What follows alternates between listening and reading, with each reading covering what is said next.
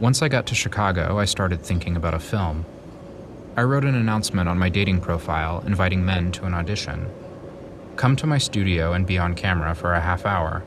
You'll receive something in exchange. It could be sex or something else. This is completely narcissistic, you know. Why not just write a script and hire actors? That, that's not a real normal thing to do in life. Could you get undressed for me? Stop.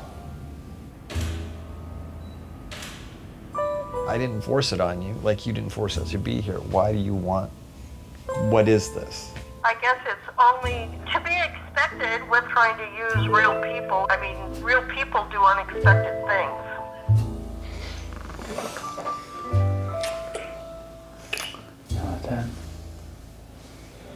I'm sort of scared. You're supremely aware of like what image making is.